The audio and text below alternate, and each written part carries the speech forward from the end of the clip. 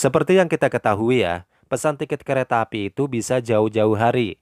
Bahkan 45 hari sebelum keberangkatan, itu sudah bisa pesan tiket kereta api. Apalagi kalau musim liburan atau lebaran, biasanya tiketnya cepat habis. Ini buat kamu yang masih bingung cara pesan tiket kereta api bagaimana, nih saya kasih saran. Mending kalian pesan tiket kereta api di aplikasi Shopee. Di samping lebih mudah dan praktis, kalian bisa bayar menggunakan SPay Letter. Jadi bisa pesan sekarang, bayarnya nanti bulan depan atau dicicil. Jadi pas ya kalau misalkan belum gajian atau belum ada uangnya. Bagi kalian yang penasaran caranya seperti apa, yuk bisa simak videonya.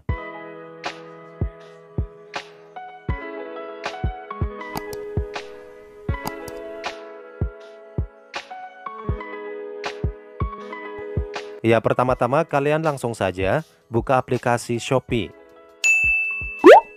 Oke buat teman-teman yang SPY letternya belum aktif, bisa simak video tutorialnya di channel saya ya. Di situ ada cara daftar atau mengaktifkan SPY letter. Nanti link videonya saya sertakan di deskripsi. Oke setelah buka aplikasi Shopee, terus di beranda kalian klik yang pulsa, tagihan, dan tiket. Iya di sini scroll saja ke bawah. Terus kalian pilih yang transportasi dan akomodasi klik yang tiket kereta api. Oke, di sini kalian silakan isi ya. Kalian naik dari stasiun mana, terus ke atau tujuan stasiun mana, tanggal keberangkatan, sama penumpang dewasa atau bayi. Oke, kita klik dulu dari atau keberangkatan dari stasiun mana. Pilih keberangkatan. Di sini kalian bisa ketik saja, saya dari Pasar Senen Jakarta. Berikutnya adalah ke atau tujuan stasiun. Pilih tujuan, kalian juga bisa ketik di sini. Saya tujuannya ke Tegal. Kalau tujuan stasiunnya sudah muncul, langsung diklik saja. Berikutnya kalian klik yang tanggal keberangkatan. Silakan pilih tanggal di sini, kalian mau berangkat tanggal berapa. Oke, di sini saya berangkat hari Sabtu, tanggal 20 Januari 2024. Ya di sini kalian bisa pilih ya untuk pulang pergi kalau misalkan mau pesan tiket pulang pergi. Berikutnya adalah jumlah penumpang dewasa atau bayi. Kalau lebih dari satu kalian bisa klik ya di sini. Oke sip kalau sudah diisi semua langsung saja klik yang cari. Iya dan di sini otomatis muncul ya kereta keberangkatan pada tanggal tersebut.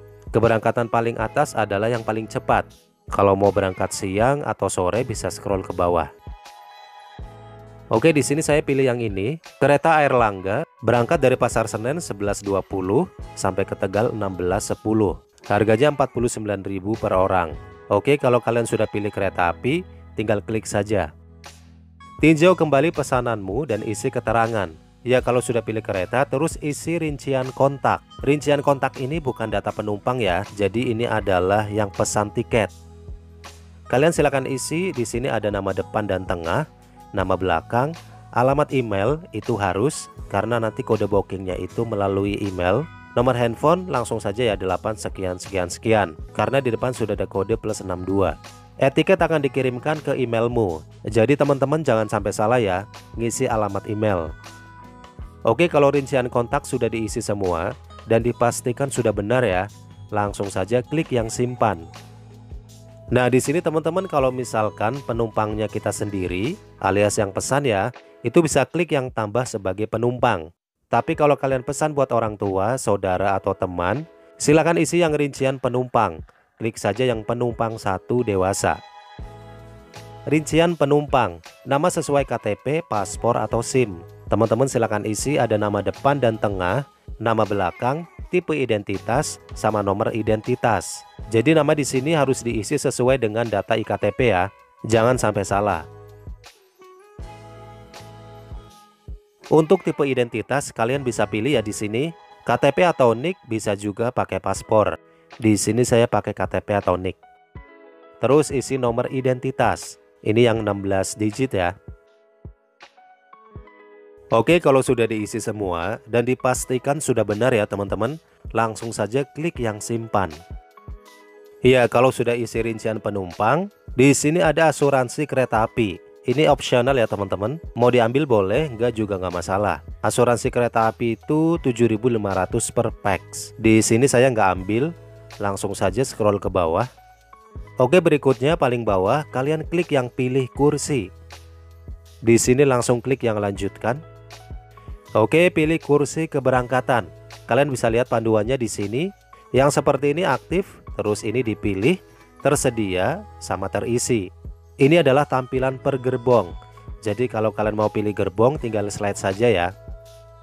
Yang kosong ini yang tersedia, saya pilih yang 15C. Kalian tinggal klik saja mau pilih kursi yang mana, pokoknya yang kosong seperti ini. Kalau sudah pilih kursi, klik yang selesai.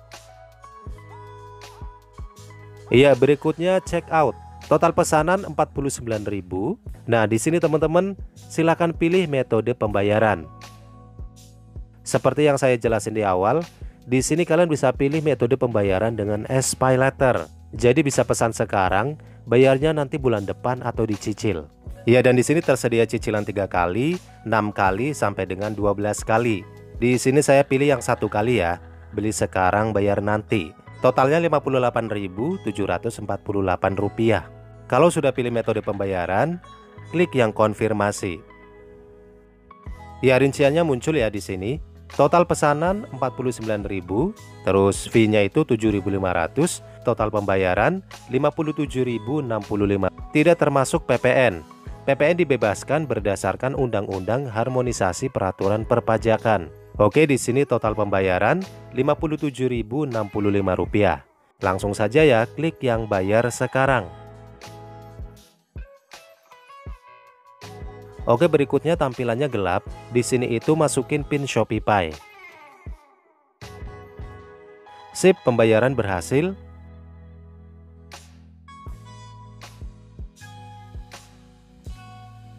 Oke, sedang diproses. Pesanan sedang diproses dan tiket akan segera dikirimkan. Etiket menunggu tiket diterbitkan.